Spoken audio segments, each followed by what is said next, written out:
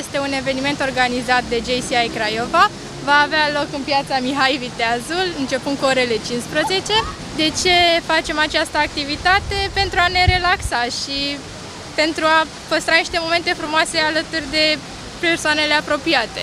Deci avem nevoie doar de o sticlă de jumătate cu apă și să ne înscriem pe formularul uh, de pe pagina oficială, Marea Bălăceală. Este linkul în descriere, alături de câteva reguli, așa că hai la Marea Bălăceală, cu o sticlă de jumătate ne scăldăm pe săturate.